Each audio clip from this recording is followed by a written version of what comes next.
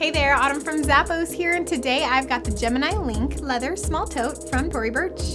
This great little tote is made of genuine pebbled leather. I love the structure of it because it's nice and sturdy, but it's still lightweight. You have the rolled carrying handles up top, you've got this cute little belt that wraps around it, and then there's also a crossbody strap that's adjustable and detachable.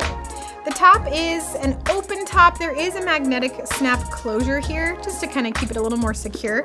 The inside is actually really nice and roomy. The flattened bottom gives it that great wide open space. There is a back wall zipper pocket there. Other side gives you a large slip pocket. Tote all of the necessities in style with this great little tote from Tory Burch.